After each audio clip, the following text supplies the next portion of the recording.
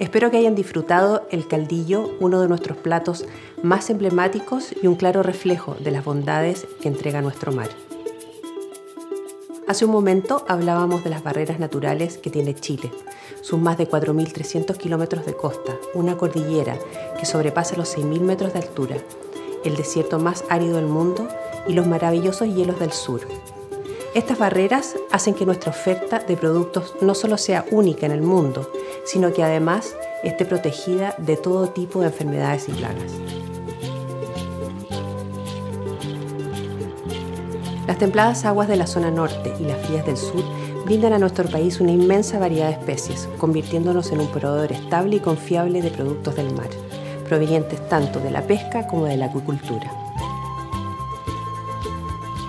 Yo trabajo y vivo en el Valle de Colchagua, porque aquí se encuentran mis dos pasiones, el vino y la comida. Vivir y cocinar en el campo es una experiencia única. Aquí me conecto con las cuatro estaciones que posee nuestro país.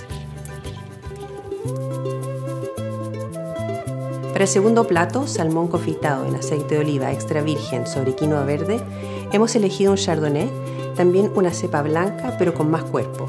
Es un poco más cremoso en boca que acompañará perfectamente bien a un pescado más graso como es el salmón. Vamos a confitar el salmón en aceite de oliva, distintas pimientas, hoja de laurel y limón. Luego vamos a usar la quinoa, que es un grano que se cultiva en los Andes hace más de 5.000 años y que es uno de los alimentos más completos para el ser humano. Y lo vamos a mezclar con 5 hierbas frescas y aceite de oliva extra virgen.